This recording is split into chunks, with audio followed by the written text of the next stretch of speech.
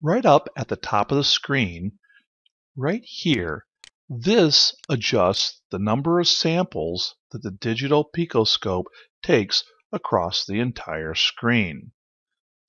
This is set to 1 million samples for the entire screen. Let's take a look at what it means to have a sample rate on a digital storage oscilloscope. When the digital scope takes a picture or takes a sample, it will create a dot on the screen. As the dots go across the screen, the picoscope will connect those dots. So if you have a low sample rate, there's a large gap between the dots. However, if you have a high sample rate, the dots or the gap between them are very, very close. Therefore, the data that you have is much more accurate. Now, the pattern on the right will draw the line in this fashion. Now, the pattern on the left should look like the pattern on the right. However, because of the low sample rate, you get an erroneous signal. Let me give you an example of what that looks like. Here I'm at 1 million samples across that screen. If I lower this value down to something really, really small, like 500 samples across the screen, there's not even enough samples for it to trigger properly across that trigger, and we lose accuracy. If I bring it up just a little bit more, it's trying to trigger but there aren't enough dots on that screen to trigger on. When I get somewhere around, say 1,000 samples, 2,000 samples, it's now getting enough where it's very close to being able to trigger. And at 10,000 samples, we now get a relatively stable trigger and the pattern is looking a little bit more like what we're used to seeing. I've reset my samples back to 1 million samples across the screen. But there's a very interesting relationship between the number of samples you have and your time sweep or your time base. So what we need to do is we need to come up to the View menu and we need to go ahead and view the properties. Now this brings up the property windows over here on the right. Now there's three bits of information I want to point out to you sample intervals, that is the space between the dots. In this example, we are sampling or drawing a dot every 50 nanoseconds. The sample rate is we are sampling 20 million samples a second. And the number of samples we're getting across the entire screen or across the sweep is 1 million samples. Because of this, we can get 31 frames of data. Now watch what happens when I change this to 2 million samples.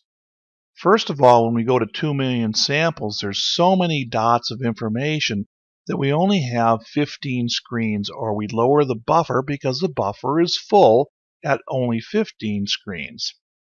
We are now sampling at 25 nanoseconds, so half the amount. So we're sampling more dots than ever before. The sample rate is 40 million samples a second, and we're now sampling 2 million samples across that entire screen. Now I'm going to reset this back to 1 million samples, and I'm going to change my time base because they are directly related. I'm going to select 500 microseconds. And of course our pattern changed, but what's more interesting is if you come over to the properties window, you'll notice that we are now sampling every 12.5 nanoseconds. So we're even sampling at a quicker rate. We are now sampling 80 million samples a second and we're only getting 400,000 samples as it goes across the screen.